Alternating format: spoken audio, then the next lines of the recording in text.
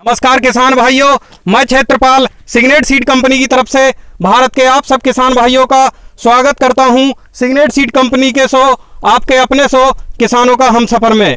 और किसान भाइयों, आज हम मौजूद हैं गाँव सोनपर विकासखंड कुरुद जिला धमतरी और राज्य छत्तीसगढ़ में।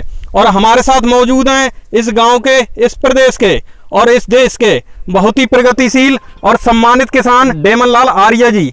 जिन्होंने इस बार सिग्नेट सीड कंपनी की एक ऐसी रिसर्च किस्म लगाई हुई है जिसकी पैदावार देखकर जिसकी परफॉर्मेंस देखकर आप खुश हो जाएँगे। आइए हम इनसे जानते हैं कि वो सिग्नेट सीड कंपनी की ऐसी कौन सी वैरायटी लगाई है इन्होंने। सर पहले तो आपका हमारे शो में बहुत बहुत स्वागत है।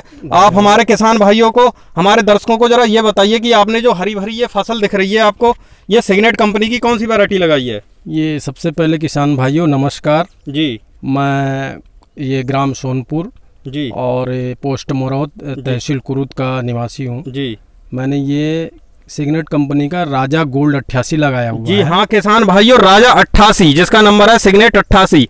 आइए हम इनसे जानते हैं कि इस राजा गोल्ड की इनको क्या क्या विशेषताएँ नज़र आई जो अन्य वैरायटियों से अलग करती हैं।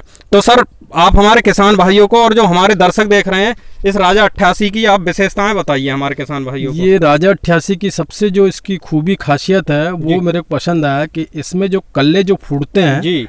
वो अधिक फूटते हैं। अच्छा। है ना? बहुत जैसा कि किसी कारणवश रोपाई में अच्छा। किसी लेबर ने एक दो पेड़ डाल अच्छा। दिया। या कुछ डाल दिया तो वो पूरा कवर कर लेता अच्छा। है इतने कल्ले आते हैं और इसकी आपको ये वाली कैसी लगी? इसकी तो बालियाँ आप देख रहे हो देखो इस वीडियो में ये गुच्छेदार बालियाँ आ रही है है ना? और और, इस- दानों की संख्या लगभग ये मेरे ख्याल से गिनती करूँ तो ये साढ़े चार सौ पाँच सौ से कम तो होगा अच्छा। नहीं और सभी आखिरी तक इनकी बालियाँ पकी हुई है। जैसा कि किसान भाइयों आप देख रहे हैं जो इसकी जो वाली है पूरी गुच्छेदार है और इसमें कल्ले की काफ़ी अच्छे बने हुए हैं और इसकी जो इरेक्ट लीफ है जिसमें पौधों में प्रकाश संश्लेषण की क्रिया बहुत अच्छे से होती है जिसमें जिससे दाना खाली रहने के बहुत कम चांस रहते हैं और ये वैरायटी आपकी गिरती नहीं है। और इस धान की ये क्वालिटी है कि इसकी जो गुच्छेदार ये वाली है इसमें दाने काफ़ी अच्छे हैं और दाने की चमक बनी हुई है। और ये रोग रहित पूरी फ़सल जैसा कि आप देख रहे हैं।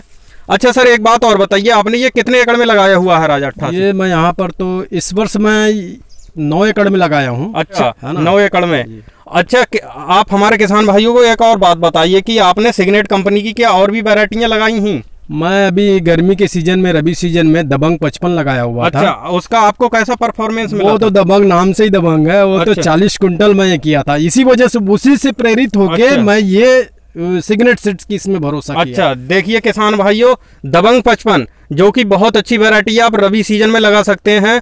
जैसा कि इन्होंने देखा 40 क्विंटल पर एकड़ पैदावार ली है जो कि अपने आप में काफ़ी अच्छी है। और रबी सीज़न में दबंग पचपन को लगाकर अधिक से अधिक पैदावार लें किसान भाई। और अधिक जानकारी के लिए हमारे दो यूट्यूब चैनल हैं सिग्नेट सीड्स और एग्री बॉय अमित शर्मा। जी धन्यवाद।